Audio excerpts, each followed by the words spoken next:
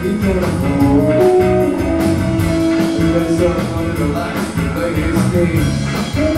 game